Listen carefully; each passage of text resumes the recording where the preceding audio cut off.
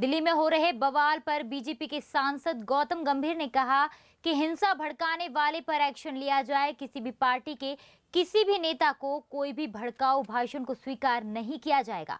भड़काऊ भाषण देने वाले चाहे वह कपिल मिश्रा ही क्यों ना हो, उन्हें सजा मिलनी चाहिए। जो भी एक्शन लिया जाएगा, मैं उसके साथ हूँ।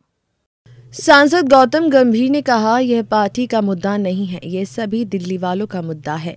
दुनिया में दिल्ली की छवि खराब करने के लिए ये सब प्लान किया गया है, क्योंकि डोनाल्ड ट्रंप यहाँ हैं। सांसद ने कहा कि डीसीपी की हालत बहुत ख़राब है, वह आईसीयू में है। साथ ही बीजेपी के सांसद ने कहा, पीसफुल प्रोटेस्ट करने वाले यूनिफॉर्म वालों के साथ ऐसा करेंगे तो सोचिए आम आदमी के साथ क्या कर सकते हैं।